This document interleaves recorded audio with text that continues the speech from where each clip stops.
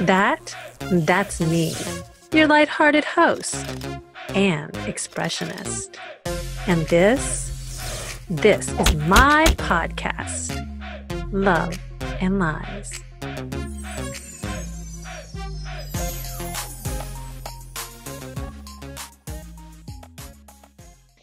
All right, ladies and gentlemen, today we are talking to a dominatrix, and uh, you get to give yourself a nickname.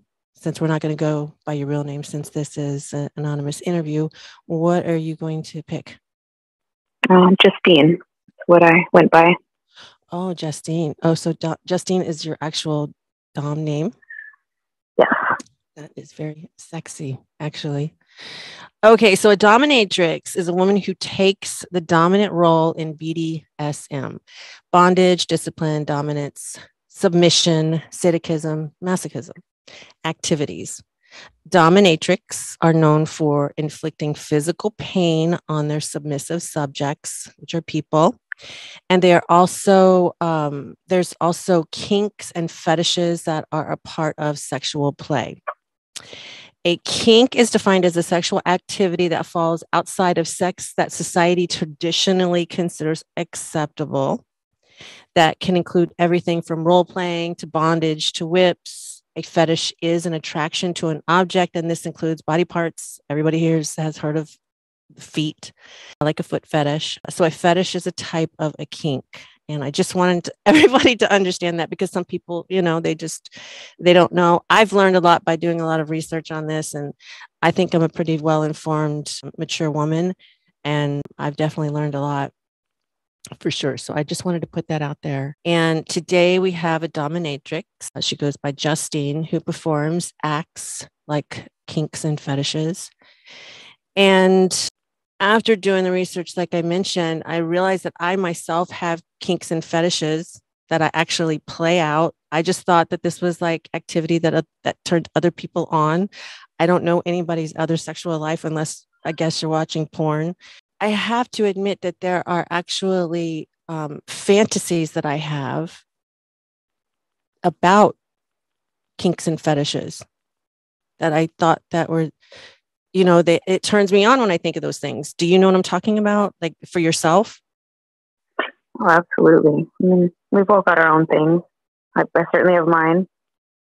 I guess i choose to keep some things fantasy. Maybe i'm not as bold. I mean i'm i'm i'm pretty bold intimately sexually but even then there's still some you know some things i just keep to um to fantasy and haven't actually acted out so there was a, a, an article that I read, and it's by Women's Health, and it's the 27 sexual fetishes and kinks you've never heard about. And I just recommend everybody going and checking that article out. Um, that's where I learned a lot about this stuff, about these very um, exactly what they said, things that you've never even heard about. And um, it, it was a rabbit hole, but it got me to um, learning a lot about my own sexual being and understanding others. And so tell me about you. Do you have personal kinks and fetishes yourself that you don't we're not talking about your clients, we're talking about just you yourself? Um, yeah, I, I, I kind of going to sound weird to most people, but I, I love mannequins. Um, I have several in my home, and uh, just something about the human form just really turns me on, whether it's male or female, I just think the body is beautiful and fantastic, and I just really enjoy looking at them. that is um that's probably one of my biggest ones. So, it, are you when you're like walking through the mall and you see mannequins? Are you checking them out? Are you like, uh, does you feel sexually aroused at that point? Are you starting to feel stimulated? Or you just appreciate their um, their figures, their beauty? A little bit of both, probably. Some, you know, some of the mannequins are are not great, but I mean, the Nike ones, they're they're stacked. they're super muscular, and I, I like those ones. Nike oh, Nike. that gives window shopping a whole new meaning. when did you first discover that mannequins were a thing for you? Oh wow, I I'm not even sure. I just I've always loved the human form, and the human body, and um, many years ago, probably. Like, when was your first God. experience where you're looking at a mannequin and you're like, I'm good? Because you know what? There's this thing with like masturbating to um, statues and stuff. Like, this is a real thing. I've always appreciated just art in general and specifically statues. And then, you know, you start to notice mannequins, and it's not exactly David, but they're everywhere. And um, I think I bought my first one probably like 12, 12 years ago. And now I have like five in my house. Okay. And then do you use those to get sexually aroused personally? Uh, I did try once, but um, nope, they're they're too stiff. Okay, so so you appreciate them, and they're part of the ambiance of your home, and they create this energy and and something that's sexually stimulating for you. Well, I had to admit the other day, uh, Ricky and I were driving, and we were driving down the freeway, and I got ahead of him somehow through traffic, and I could see his hand on the steering wheel, and you know he's a lot to look at. Um, but all I could focus on was his hand the whole time I was driving. I was just looking in the rearview mirror, and I was getting turned on by looking at his hand gripping the steering wheel. and I was like, I love hands. I totally get that. Hands are beautiful. They are. They're very, um, but I didn't realize, I didn't realize personally that hands were a fetish. I've heard of the feet and I don't know where this thing came from for me. And it's not like anybody's hands will do.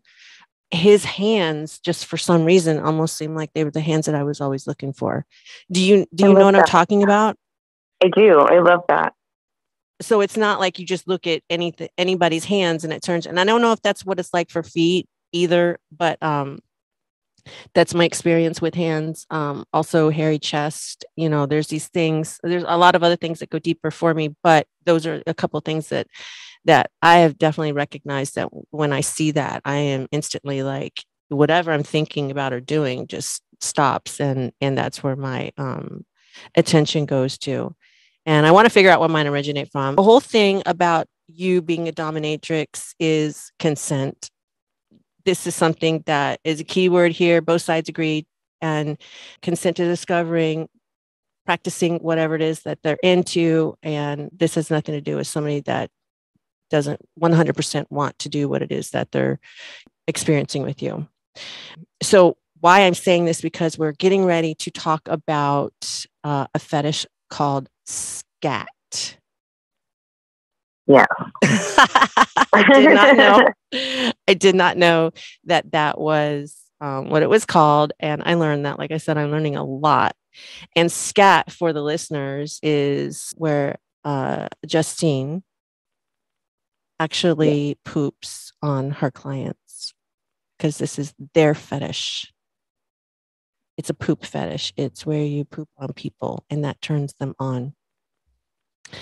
And that might actually be disgusting to everybody. Um, or you might well, like, what the hell? Why would that do anything for anybody? But I figured it out, Justine. I figured it out and uh, we'll go into that a lot later but um, psychologically you know i'm always trying to connect things and this has always got to go back. Yes it's it's sexual play but it always goes back to something. So i figured out a route for this for anybody that would judge it because i bet by the end of this interview they're going to figure out they themselves has kinks and fetishes and they're going to be weird ones too and it's going to relate to something for them and so we don't want anybody to judge. This is this is something where we're going to educate ourselves feel good about ourselves know ourselves better and be able to love ourselves more.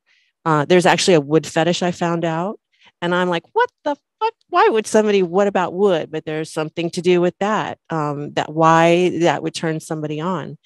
So what is super interesting to me is that you don't think you're interesting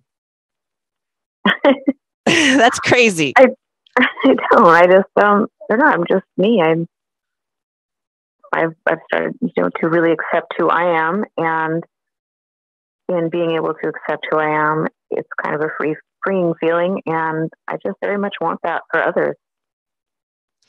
So this I just is... don't think it's all that interesting, but I mean, I'm glad somebody does. It is, and a lot of us do. And anybody who finds it interesting is definitely going to be listening. And um, but I that was my first impression of you. I was like, wow, she does not think that you're like, why do you want to interview me? like, what do you mean? Why don't I want to interview you? Of course, I want to interview you. Uh, so tell me a little about you. You are lesbian or bisexual? I'm lesbian. Okay. And then, as a result of an accident, just to give people a background on you, you actually do not enjoy sex. Uh, I, I can't feel it. I have neurological damage and I just, I don't feel it. But I still enjoy it, just not in the way most people do. Um, is it, let me guess, is it because you're giving? that you're enjoying because, the satisfaction of pleasing somebody else? Yeah, um, I definitely love pleasing other people, and um, being touched is great too. Because like, I mean, it's like when you go to the dentist and they numb you, and you know they're like drilling in your gums, and you know the thing is happening, you just can't feel the thing. Mm-hmm. The same thing with me being touched. Like I know what's happening, I just can't feel it. So it it still very much turns me on, and especially if it's somebody I, I really care about there's there's a whole different set of feelings that that I that's involved in, and I get something out of that. I get a lot out of that. Uh, so kisses and um, affection and attention and uh, role playing turns you on. Can you orgasm? Mm, not really. Not not the way I used to be when I could feel things. But it's I don't know if I would call it an orgasm. It's it's definitely it's like a mental orgasm. Okay. I, I will I've been in times where I just like lay there and I'm just like, you know, you got that like post orgasm shivers. I can still have that feeling. It's just not a physical one. So you have a a, a post orgasm feeling where you, you feel like your body hit uh, a, a a point and then you feel satisfied like you get the satisfaction of knowing that you experienced and that your body experienced you just can't feel it like your body yeah, goes through it. The body goes through it, and it's it's a really neat experience. That I really wish I could put it into words, but it's like it's a whole body experience. It's emotional. It's, it's mm. everything. It's probably uh, you know, so a lot of people take orgasms for granted. So you're experiencing it in a way that um, body, mind, from head to toe. That's what it sounds like. Exactly. You, it's, it's really great. So you are also somebody who doesn't, uh, even though you are a dominatrix and and do these things, you are somebody that doesn't even talk dirty in your own sexual life and relationships. I don't. It's just it's not for me. Um, there's reasons to unpack as to why, but that's a whole different podcast. and and you don't belittle anybody in your intimate relationships. Absolutely not. Okay, and then you you claim that you're also a bad actress too, which I think that you have to be an actress to be a dominatrix. That's just what I thought going into this. But after getting to know you, I I, I see where you pull this from. But it, you consider yourself a bad actress. Like, oh yeah, I'm a terrible liar. I'm not. I'm not great at it. I can't. So when you're doing this, you're really into it. You're not just you're doing it for somebody, but you're not doing it because you're walking in and just taking their money and being an actress. Oh yeah, I'm I'm not because for me, like like you saying, like I I enjoy giving pleasure. Right. I'm not sleeping with these people, but I am giving them a certain pleasure, and I enjoy that. Well, when I uh, first knew that we would be interviewing, uh, I was talking to somebody. I said, "Guess what? I'm, I'm going to be, you know, um, interviewing a dominatrix." And uh, she poops on people. She does this, you know, this fetish called scat. And she works in a strip club. This wasn't the stripper that I've interviewed. Anybody that listens to the episodes, this was somebody else who actually ran a strip club. And she was saying that there, uh, she was like, "Oh yeah," she was like, "There is, there's this man that actually um, will call ahead and tell the one of the girls uh, what to eat and she will shit in a bag and he will come into the club He will grab the bag. He will walk through the club. He will sit down at a table. He will have the bag right next to him and he will watch her perform on stage. I, I believe I believe it. I know because when I shared that with you, your uh, first exposure to this was in a strip club too. You were a bartender. Mm-hmm. Okay, so, so tell him. me about that. Yeah. Um, I I'd heard rumors about this guy before, and and of course, like a few of the girls are pretty judgmental about it, and I'm like, I don't I don't see the issue. Like, if you don't like it, you don't have to play with it. Like, and and so they they ended up talking to him about me, and they're like, she'd totally do it. And so he started talking to me, and I was like, yeah, like tell me tell me what you're into. Like, so I got to know him. And this was your first from, experience. This is what actually walked you into being a dominatrix. Uh, yeah, actually. Okay. My very first client. I went big right away. What? I went big right away. Yeah, you did. Wait for the scat. right for the scat. Oh gosh. Okay. Um, and so was this the guy? Some we talked. There was something about somebody eating it. Yeah, he's he's the one. Um, my only concern there was like for, for health reasons. But I'm like, this is this is a thing that you want to do. I mean, I know that I'm, I guess, as clean as can be as far as that goes. Mm-hmm. And uh, I, you know, I, I just I like making him feel not judged. And as a person, he's actually really a really interesting guy you know somebody who actually is more of a dominatrix i guess you would consider than yourself somebody's like totally into this um or, or maybe does it more or uh, i don't know but you said there was a girlfriend that maybe you started doing this with and there was something about a foot fetish? Yeah so we were dating for a while and okay, she's a professional dominatrix and because you don't consider yourself a professional even though you, you get paid and you do this, you don't consider yourself a professional? Um, I guess not. I don't know. I don't know how to see myself. I just it's just a thing I do, and I do get paid for it. But um, it's not. I don't know. I maybe because that's not like my my main job. It's just something that I make some side cash from. I can make a few people happy, and just everybody benefits. Okay. And so um, you started doing what was the foot fetish with her?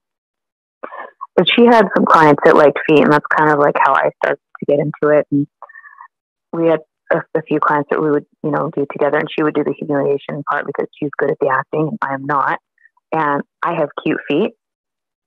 And so I was just kind of part of it, and I'm like, okay, I like this. And so she would go over and belittle them, and then you would stand there, and they wanted you to do what with your feet? Uh, sometimes they would just buy me different shoes, and they would want me to just walk around in them, or or like step on them or kick them. Okay. Um, with the with the shoes. With the shoes, without the shoes. And Did a lot of foot massages. Okay, and would he be getting off while this was going on, or trying to, or? Masturbating? Uh, no, he wasn't. At that time, th- this client he wasn't allowed to touch himself. Like that was a that was a rule, and I think uh, part of what turned him on too is like having to hold himself back, no matter how turned on he was. Okay, and um, so when these acts are going on, do uh, are they allowed to touch themselves in front of you? That that's a is that a rule that they're not allowed to, or you allow some, or what's what's that about? With different different clients. I mean, I don't care, but um, you know, we everything is spoken about. Consent is paramount. Mm-hmm. Like, you want to touch yourself, that's fine. Like, but um, not touching me sexually. Like, my feet is about it. That's all you get. Oh, but they can touch themselves. They just can't really touch you. Maybe just your feet if you agree to that beforehand. Yeah, yeah. It's all kind of like on on each person is different. Like there's some guys I feel completely safe around, and some where I'm like, absolutely not. Like, I don't think you could. I would feel like I would be in danger. So I don't even want to take it to that level because there's been a few where right. I was like, I should not be here. Right. Because they were just, you felt I just had a bad feeling about some of them. I didn't feel safe with some of them, and and I'm like, all right, I gotta go. Um, and so you just left. Uh, yeah, I finished the session, but I was like, mm, not gonna go back not here again. again. right. I don't. Yeah. Okay, so this is where um we get a little deeper because this your heart has more to do with this than anything. Um, when I asked you about your sexual preference, it has a lot to do with really why you do this. Um, and this is where your parents, um, when they found out about you being a lesbian, tell us a little bit about that. So I was in middle school and um, I had a girlfriend at the time. And by girlfriend, I mean we like held hands and kissed because, you know, you're in middle school, whatever that means, having a, a, a relationship mm-hmm. at that age. Mm-hmm. mm-hmm. But um, where I grew up, it, you know, everyone was straight. I mean, of course, at the time we grew up too, like it was not cool to be gay. Like even in you know around the 2000s when like women would make out with each other in bars just to impress guys. Like you didn't even do that back then. Like that was like no, not okay. And that's kind of how how it was where I grew up. And but I've never been the kind of person that cared what anyone thought. And and uh, I liked this girl, and we'd walk around like holding hands and the school was concerned. And so they called my parents and told them that I was gay without without saying anything to me. So I didn't even know. Uh, so I came home from school that day and I was completely blindsided. My parents were they're very Catholic and um, they did not react well. They're sitting on the floor crying, like on the floor in the bathroom crying. And I'm like, I thought someone had died. Right. Uh, and, you know, I asked them what's wrong and they told me what the school said and asked me if it was true. And yeah, and I'm not a bad liar. So I'm like, yeah, this is, this is me. This is who I am. You didn't think any, I mean, did you feel that there was something wrong with you? Did you feel like you were different or were you just so innocent in your affection for another person that you didn't notice it didn't matter to you? Like you, or did you know like boys are supposed to be with girls and girls are supposed to be with boys and that's just the way it is. Is that something? Well, yeah, I've, I've heard that. Head? You know, mm-hmm. boys and girls. Are, oh, that's the only way. But I didn't. But I knew. I knew that this was me. I've always known that this was me. And so I really didn't think there was really anything wrong with me, like until that moment when I was like, oh, shit, like just me is making my parents like cry on the floor. And uh, that was not a good feeling. I mean, we're great now. We've had a talk. My parents are wonderful, very accepting now, but it, it took a, many years and a lot of work to get to that point. You're in the health field now, right? Um, yes, I'm studying for it. Okay. And so, um, what are your concerns when um, you're performing scat and people like w- wanting to eat it? Like, isn't that? I just, healthy? I don't. Yeah, no, it's not healthy. There, there's a lot of bacteria diseases. Like our body's getting rid of it for a reason. So mm-hmm. I don't think that's great. Like I don't, I don't know how this man's immune system is. I don't know how how he processes it. I'm not a microbiologist. I just, I feel like it's probably not great for him. Um, and conversely, if and you know sometimes he would like for me to to poop directly into his mouth sometimes he like chokes a little bit and i'm like oh god please do not start choking now because like i will have to save your life. And this is mouth to mouth. Because i will. I'm not going to let you die but also this is going to be the worst day for everyone. I, I, don't want to have to explain to paramedics also I, you know what? Just please don't die. Rule number one, don't die. So can you can you please paint this for me this this picture how you do this? Like is he laying on a bed? Is he laying on the floor what do you uh, have on? on the floor he's laying on the floor and is like a bag around you is this or, or, candles lit or what is going on no just actually basic just here's my bedroom my the nice tile floors easy cleanup which is nice thank god no carpet Okay. That would be awful. Um, and then I, yeah, I have like a cute skirt on and heels, and I just squat right over his face. Let it happen.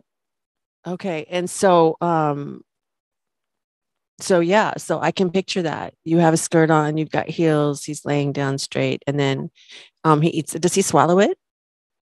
He does. Wow. And then how much are you um uh, how much are you eliminating out of your system? All of it. All of it. All of it. And he's So eating it and swallowing it. Is he chewing Yeah. it? Is he just swallowing it? I, you know, honestly, I've never watched him do it because I I don't want to be judgmental Uh-huh. and um and I don't gag easily, but I don't want I don't want to accidentally make a face. Right. Absolutely. Mhm. Um and so I just kind of like look forward and I just let it happen and then I I know he like he obviously can't eat all of it at once. Um Mhm. you know, so it takes him a minute. So like when I'm done, I've already been like, you know, money's on the counter. I've already got my money, so I just kind of clean up and leave him to to do whatever else he does with it. I've never um stuck around any longer than that. So you just do that and you leave and then whatever he does. Is is he moaning when this is going on? Oh yeah, he loves it. He loves it. Okay. Uh uh, here's a little, you know, psychology connected to this. Um, just for the listeners. Somebody, some people are like into pantyhose, and this originates from maybe um being a child and sitting on your mother's lap. You know, back in the day, there's pantyhose.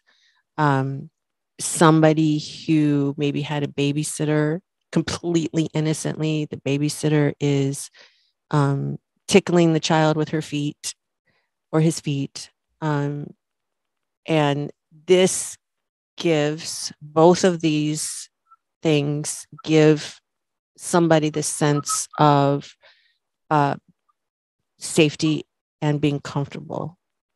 The feeling of Mhm. security. So in your child and these things are happening this is uh, what um, is connected to for a lot of people that have these fetishes for feet or um, again like i mentioned pantyhose. Some people just see pants some you know they see that it totally turns them on and and that's where it can originate from you also have a client that you go and kick in the balls repeatedly for like 45 minutes Yeah, I've had I've had actually quite a few of those. and tell me about that Um, you, it starts off, you know, we'll we'll sit there and we'll massage my feet, and a lot of it is uh, like like the sweat glands on the bottom of your feet. I don't know if there's just more pheromones that come out through there, but we love to smell them, and that's a big thing. So um, I would like massage my feet and like smell them and kiss them, suck on my toes. Um, I actually like to have the heels of my feet bit a little bit, um, and then feels good. Yeah, so and we just kind of like start off there, and then eventually they decide that they're ready to be kicked, and so they'll either like just stand there and let me kick them, or they'll lay on the ground, and I'll either like stomp on them or just kick them, and not not too hard. I'm not like straight stalker kicking them, but just enough to to cause a little bit of pain. and, And then that's another learning process too, is deciding like everyone has like a different amount of force. tolerance, the pain Right. tolerance uh and are they moaning while this is going on too Yes, are they touching themselves some of them. and and you do this barefoot or in heels or the shoe Both. on both and they'll like bend over on all fours to have you do this or stand up Um, some some like to be on all fours. Some will I just lay on the ground with their legs spread. Some will be like standing. It just uh, depends on how much like what they can handle or how how much they want. right Some like to be kicked in the face. some like to be kicked in the face There's one I used to kick in the face and he liked it. Well okay um, and again, not not so hard that like I'm not trying to cause you're not leaving damage. bruises you're not leaving Right. marks and things like that um you actually yourself like to be gagged and tied up Uh, not gagged, uh, but I do I do like to be bound. Okay. And this is um, where you feel a sense of security yourself.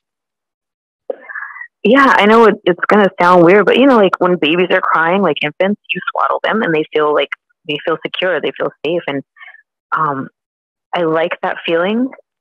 And I like that if the person I'm with does that, I trust them enough to be able to do that to me. It's it's a really nice feeling to be able to feel secure around another person and to be able to let go do the does the act of being tied up? Because i know when we come into this world as babies our first natural fear is of falling. So when you mention about swaddling that's why we swaddle babies so they have that security know it gives them that comfort. Is that what the tying up does for you? Like you feel tight and and secure like that? Yes. This was eye opening for me because I realized that I do have kinks and fetishes and and things that I do play out that I just thought was a part of normal sexuality, to be honest. So, um, but when this happens, for me, it's more of being dominated, and for you, it's more of of, of a security. I think it can be both things.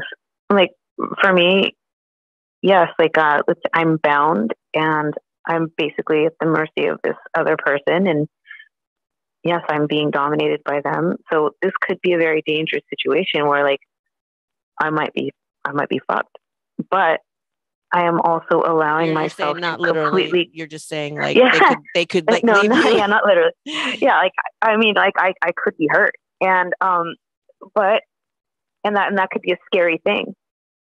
But also being able to trust somebody enough to completely let go of that fear and let go of that your own control and just give that control to someone else is also a really interesting feeling. Um, it's a different kind of adrenaline, maybe.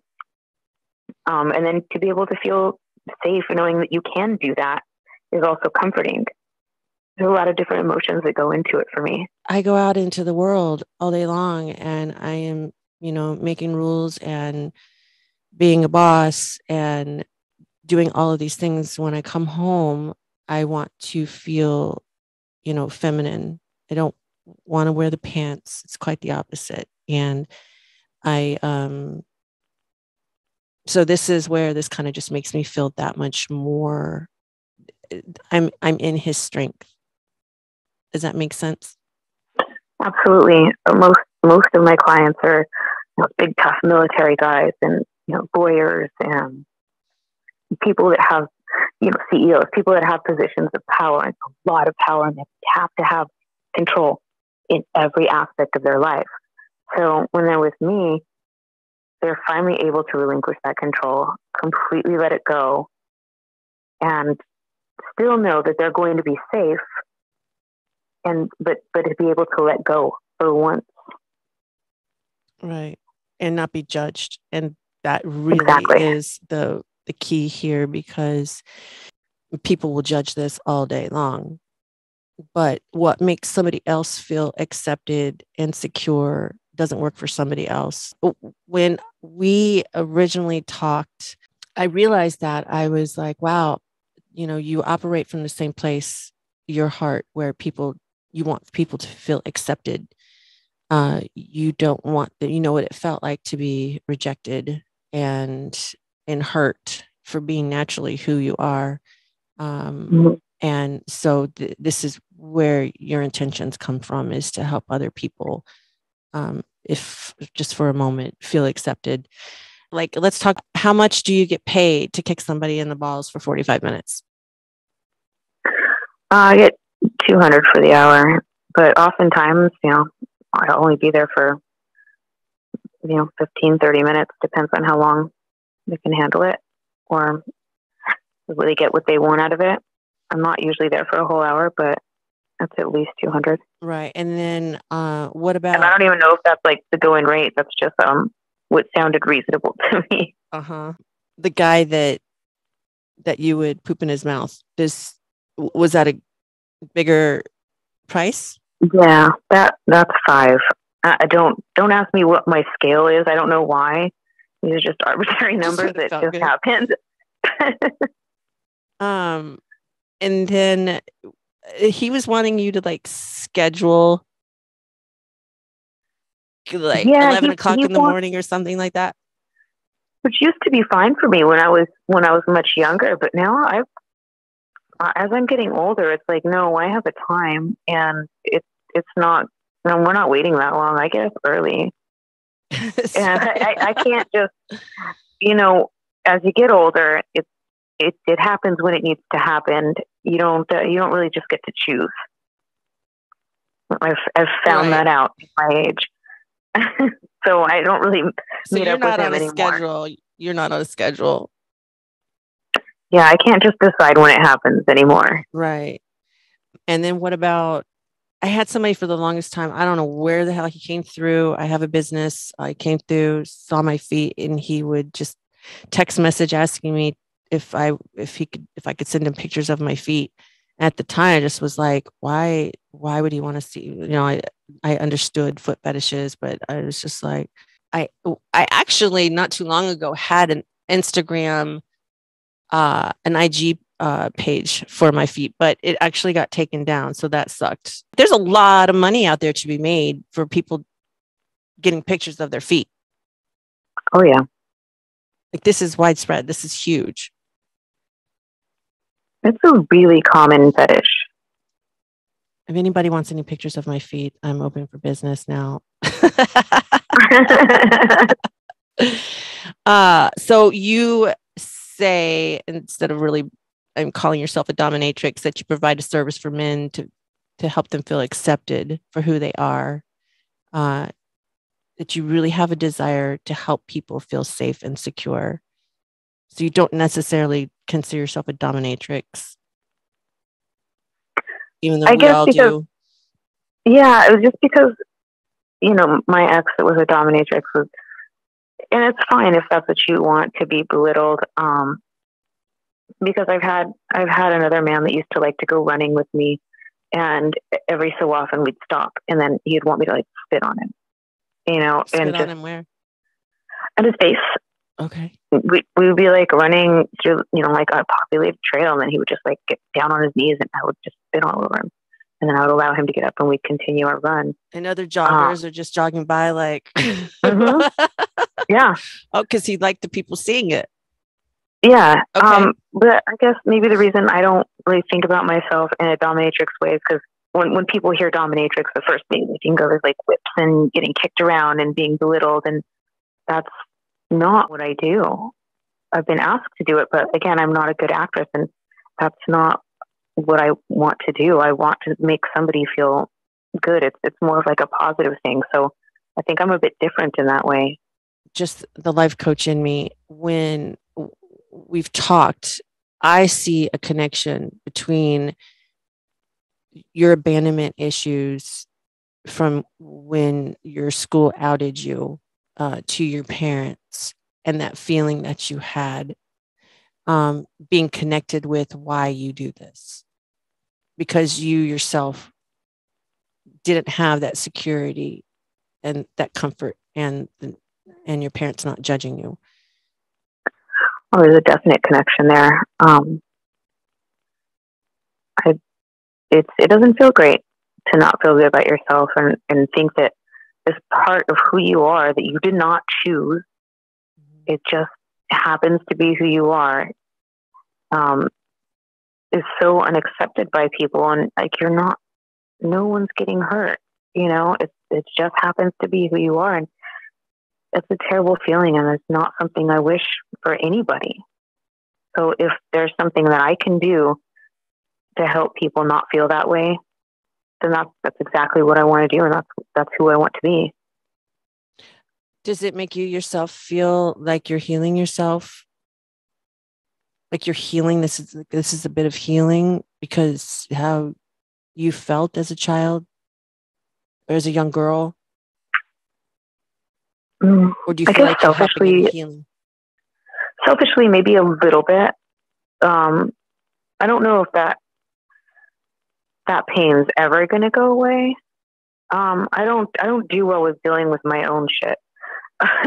I like I like to keep it in a little box and just shove it down inside. And I'm like, okay, I'm I can't that can't be fixed for me, but maybe I can help somebody else. So so they don't get to this point, you know. When I was talking about um, wood turning people on, this just for everybody out there listening. This is how we we our minds connect things. When you are hitting puberty, let's just say a young boy doesn't have privacy and he's starting you know his body's changing and he's waking up with these you know feelings and and his body's responding to it. Um, some people will had to have gone into like perhaps the woodshed and they would masturbate and relieve themselves. The connection to wood with masturbating and sex are it's there. That's the connection.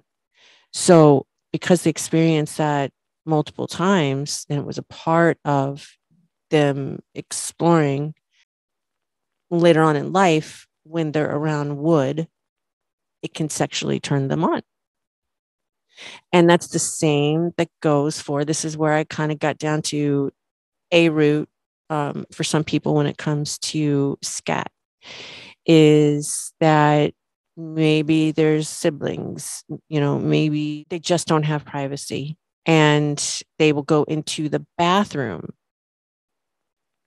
Maybe they're they're at school and they get aroused and they want to relieve themselves really quick or they don't know what to do. I mean, they're figuring things out and they go into the bathroom and the smell of a bathroom if you do this multiple times chances are there's going to be the smell of of um, feces in the air and this being some way that their mind connects and gets turned on by shit. The sense memory is a powerful thing. Isn't that mind-blowing? Oh yeah. To think that the two are connected and and why people shouldn't judge because this is just something that one if it's not hurting you and it's consent between two adults that's their thing. But um to know that it could go back to that to such moments when you're young 10 11 12 I mean, and that's like really the time, like, you know, we're getting our hormones, we're figuring things out, like our neural pathways are being laid out at that time. And we may not understand how or why at the time, but it kind of molds us. And it, it just is. Your clients are high profile, high powered men. They are not men that are just submissive in life and these are men that are out there with a lot of power and control and they have a need to give up all of that or to feel completely submissive to somebody else that allows them to escape.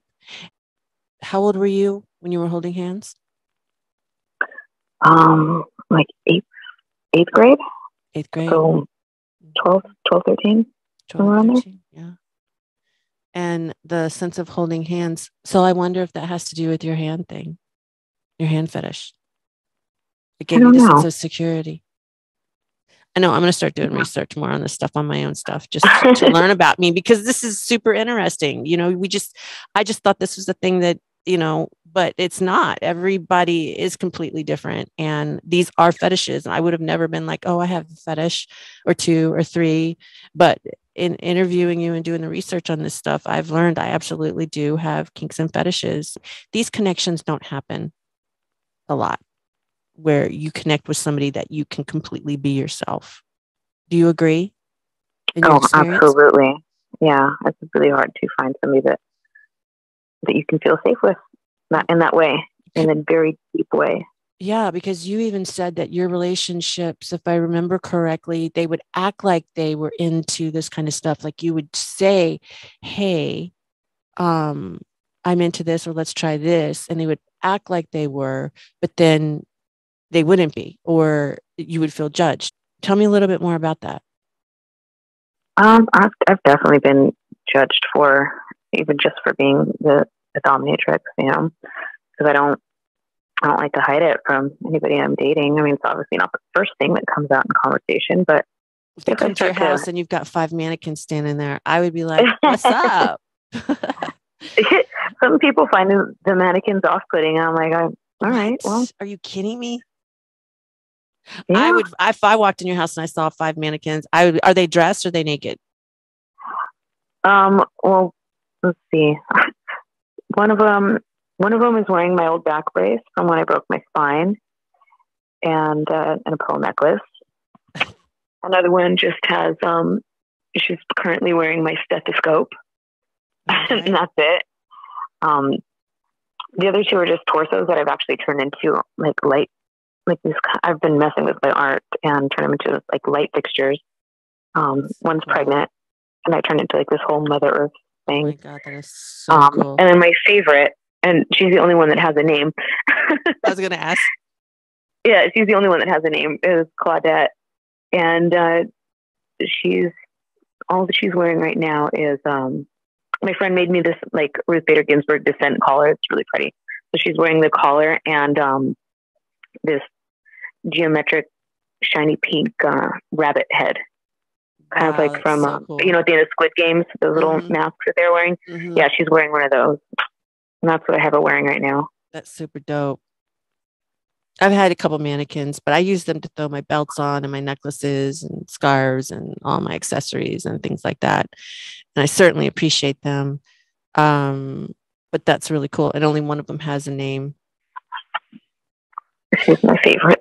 Your longest relationship was with the foot fetish guy. Um, yeah, I guess you could call that a relationship. I, I still, he's the only client I have now. Okay. Yeah, he, he's the only client I have currently. Now, I'm getting older. Life is happening. I mm-hmm. can't do this forever. Mm-hmm. Right. So going back to the relationship part, it is very hard for people to find somebody that they can be very vulnerable with and open and honest. I think, I mean, I'm a coach. I talk to a lot of people. They tell me a lot of things. There's a lot of people out there that feel like they want to be somebody else with their partner or be able to experience things that they just they can't. They feel like they will be judged or um, left or laughed at or not understood. And once you say, "Hey, I want to try something like this," um, then somebody think that you're weird, and then you've got to live with that throughout your relationship. But it is, it is. If you find yourself in that you're in a relationship with somebody that you can be completely open with and there is no judgment, I would say to the listeners out there consider yourselves extremely blessed because this is rare. Do you agree? Oh, absolutely. It's just not acting stuff out. It's bearing a piece of your your soul. It's giving a piece of your soul. It's not just it's not just to get off. I'm sure there are unhealthy versions of this out there, absolutely, but that's not what we're talking about. I created a p- piece of art years ago. I redid it after my mother died. It was one of my first pieces as the expressionist. I've not released this image yet, and I will soon, but this was on love and sex addiction. And a part of the image is this woman who's got her hands behind her back, almost as if they're tied. And she's on a trophy case and she's very thin. And she's got a baby doll head on her. And my reason for putting, I mean, everybody takes in art. So I really don't, I don't want to tell everybody, but I want people to just come to their own conclusions and, and, um, look at the piece on their own because it's a message for everybody in their own individual self. But um, the head part was because of trauma.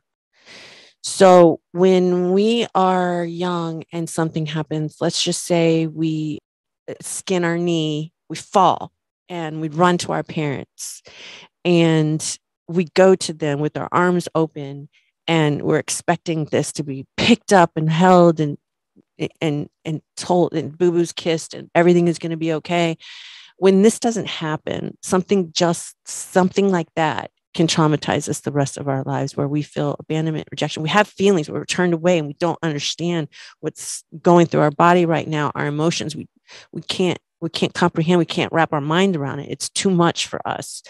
It can it could be from a parent yelling at us. It could be something that they said when we were a child that we will never ever ever forget and typically what happens when this trauma occurs when we are younger is we stop developing emotionally and so when we get in fights and we're adults and we're out in the world and we're with our partner and we get in a fight, I resort to my eight year old self.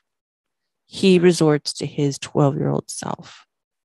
And now you've got an eight year old and a 12 year old dealing with adult issues, problems, whatever, whatever is going on from the emotional capacity of being a child, because we instantly go back to that because of the trauma fear of abandonment, for example, being connected to what it is, and this rejection. And it's it's really huge. So a lot of people aren't likely to open up and really feel like they can be themselves or share their secrets or their desires because of this fear of rejection and abandonment. To me, I think we're all just a bunch of, you know, eight and 10 year olds, 12 year olds running around on this earth trying to just trying to find love, you know? Yeah, pretty much. I mean, really think about that. Our bodies grow up. We we we're forced to go out into the world and take on a lot. We're entitled to our parents accepting us and and um, nurturing us and raising us up, but we aren't given that. Even in your situation, like your parents are super supportive. They love you they're great parents. You have a great relationship with your parents. I think you still talk to your mother every night before you go to bed, correct? Mm-hmm. Right? Yeah, right. But you still have this trauma that you carry from when you were young and the school outed you and you felt like you were dirty and you weren't like everybody else. And your parents, you saw how much it hurt them. Yeah. I mean, they for being you. They have their own traumas too that maybe they were going back into yes. that they they weren't accepted. Yep. You know when yep. when they got married, you know it was very Romeo and Juliet. They spent their first night as a married couple hiding from their parents, and so like it it just all keeps going back and back and back. So like if we can figure out a way to stop that cycle with you know with us in the future. Well, that's what we're doing right now because again, you know, they have their own trauma, but generations ago weren't talking about these things. You know what? There right. are podcasts out there for them to go, oh my God, I know I've caused my own children trauma. I absolutely have caused my own children trauma. And it's not on purpose. It's because I'm just like everybody else trying to figure out life. I may be more in tuned and aware and um, choose to help others and educate myself and put myself in positions to do so. And everything is choices, right? But mm-hmm. that doesn't, like you're in the medical field, you help people, you do this, you're trying to help people. It all boils down to love. And the more that we can talk about things out in the open and not judge each other for it and just accept, hey, that's not for me. It may be for you ask how does that feel? Just being curious um, and understand from a different point of view then um, our guards go down and we have absolutely more love in the world and people that feel they can be themselves and celebrated. Um, it's our job to love ourselves. Like i know our parents i get this every single person that i coach. It always boils back back to the parents. And even in your situation you know we are entitled to that, but nobody can love us the way that we love ourselves, can love ourselves. And um, And we need to get that through our head. We need to accept ourselves the way that we are so that we don't get into relationships where we don't belong, where we can't be ourselves and we're doing it just for, I don't know, whatever other reason. That the more confidence that we have, that we will pick and choose partners that will make a difference because this is sacred and it is about our soul. And I hope people get that from this interview. What was your intentions of trying to help? I mean, you hear you have somebody calling you up going, Hey, I want to interview because you're dominatrix. What was your intention um, for this? Well, I mean, at first I was like, like you said, like, why me? I'm like, I'm not that interesting. But um, the more I listened to some of your podcasts, I, I saw your intentions. You know, you truly are also just trying to help people. You're helping the people that you're interviewing kind of work through their own stuff. And then the listeners, you're helping them because they're like not, not feel so alone. Like they can relate to it. And, and I liked that. So, um, I wanted to be a part of that. Which uh, Love and Lies episode did you listen to when you knew that I was reaching out? I'm just curious. I listened to the suicide one, and I think it was like a sex worker mm-hmm. one. Or, mm-hmm. Yeah, I listened to those two. Um, but the suicide one really spoke to me the most um, because you know because of all of that happened to me. I was, I've gone through my like bouts of suicidal thoughts, and I have I've gotten real close before, and it, it's really it feels good to not feel alone. God, he would love to know that. What was your takeaway with that? Like, what was your moment where where it, it touched your heart the most, um, or that you didn't feel alone? Or the thing that when when I heard about how, like mm. stabbing himself in the chest, I was like, dude. And I know like this is like the worst reaction, but I was like, oh my god, like there's there's so many either other ways. It's so much easier. Like, God, like that was like, of course, initial reaction. I was like, bro, like you you could do this much. There's there's more efficient ways because I'm stupid and that's my brain. But also I'm thinking he truly meant it. He was at that hopeless, dark place where the most painful, difficult way that I can probably think of was the way that he was going to do it. And he meant it. Mm-hmm. And that is a dark and terrible place and scary place to be. And, and I'm like, shit, like I've, I felt that and and it touched me.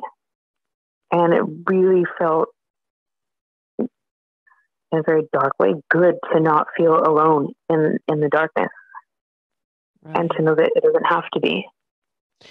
He i asked him um, because he was for the listeners that have not listened to that interview somebody found him and his life was saved. And i asked him i, I, I somebody else also uh, that I know are suicide survivors, but somebody came in and found them and their life was saved. Uh, they both said the same thing. They both said that they're glad it didn't happen. And they have such a greater appreciation for life. And I think that that's really important because a lot of people want the pain to stop. They don't want to not live, they just want the pain to stop and um, that's a majority of, of reasons why people want um, to commit suicide. He was so grateful that it actually didn't happen and is on fire for life. And the other one, oh girl. The other one tried to commit suicide when she was 20 tall blonde beautiful had everything high profile marriage money, everything that is that you could that you would think that would be glamorous. And she tried to commit suicide and was found and survived it. Years later, ends up getting cancer and has had this cancer reoccurring over and over. She's had something like 56 surgeries. Oh and her body bloated, her hands, her face, her just, she's so uncomfortable. Surgery after surgery after surgery after surgery. I had to ask her, I was like, so knowing that you, the rest of your life, like you were going to be battling cancer, that you would go through 56 surgeries. Do you wish that the suicide would have gone through? She said, Absolutely not. I am fighting for the very life I tried to take away. And I was like, What? Wow. Are you saying to me right now? Like, that is something for us to all learn. Like, nothing is worth leaving this, or like, we can always figure it out. But isn't that profound? Like, 56 surgeries and fighting for your life, blood, tooth, and nail, like clawing for it, for the very life that you wanted to take away when you had everything, right? Mm-hmm. Unbelievable. And of course, I've got the sober episode that's coming up that I mentioned to you about that you felt connected to. Now, what I want to mention about this is that the dominatrix would never listen to. I asked if you saw the sober episode, would that be one that you would click on and listen to? And you were like, no. Uh, no, I mean, I would, I mean, I'm in a different headspace now. I absolutely listen to that. You would? Well, knowing what Love and Lies is about, of course. but in the beginning, like that would be something that probably was like, ah, sobriety. Man, yeah, her, like, ah, all right. Right. I mean, right. Yeah. So there's others. right, exactly. We've got the the sugar baby and all the serial cheater and all of that stuff. So her story, I briefed you on it, and you guys have some things in common, and that's the reason why I do this. The stripper found God listening to the one about manifestation with Dr. Nick Castellano. And I know a lot of people, I know a lot of people are going to listen to this and they're going to look up some stuff. They're going to find out what their own kinks and fetishes are. They're going to un- be under more understanding when this conversation comes up about scat and anything else that comes up. Probably more inqui- inquisitive and um, wanting to learn. I have certainly learned more about myself doing this interview with you, and I am so grateful for that. I truly am. And with every episode, I ask the same three questions. And so I'm going to ask you um, where is the love in your story? Um, definitely in in the acceptance, um, like being able to accept yourself and to be able to feel accepted in the world and and to accept others. That's awesome. And where are the lies, or what are the lies in your story? Um, the lies that we tell ourselves and other people just in order to survive, you know. Mm-hmm. Um, it sucks. We shouldn't have to walk around wearing masks and costumes, but we do mm-hmm. just because they don't, you know, we don't think anyone's going to truly accept uh, us for who we are. And, and it forces us to not accept ourselves. Right. We reject ourselves. And it's just this cycle and it's all lies, though. That's her point. It's all, it's all lies. Yeah. it's all fucking like lies. you're lying to yourself exactly. so that you can lie to the rest of the world. But for what? Exactly. For acceptance. But when that happens to, that has to be your own acceptance of who you are. So you can walk in your fucking power. That's what it's all right. about. Majority of people's answers are that about the lies in their head that they believed what did you just say that I was going to elaborate on? Oh, mask. So about the mask, the, Love and Lies was fashioned after Oscar Wilde's quote, if you give a man a mask, he'll tell you everything. So what I have done with this podcast, because I coach people, I'm like, if you only knew you're not alone and everybody feels alone, um, was with the anonymous interviews, give you a mask. Like you don't you're not gaining a follow you're not gaining a like there's no other reason for you to do this but to help others and also to free yourself. Uh, a lot of guests you know want to confess and get things out because it's a healing it's healing to them. But you give a man a mask and he'll tell you everything like you've been nothing but open and honest with us completely. And we're so grateful for that. And now finally the best question what is the truth? That's what I want for everybody. You know, just for everyone to be able to comfortably live their true self and to be truly happy with who they are. If they can do that, it, it's it spreads. It's contagious. Yeah, it is. Well, Justine, thank you so much. I truly appreciate your time and enlightening us and just making the world a better place today. As this episode echoes for eternity, I just appreciate the love that you've put into this and your intentions and your energy and your kind heart. And that's it. Is there anything that you want to leave the listeners with? Um, just learn, you know, have an open mind about things. You know, everybody's everybody's got their own little path and things that they've gone through on that path. And thank you, thank you for including me in this, uh, this community that you've built. I really appreciate it. Thank you so much for being part of it.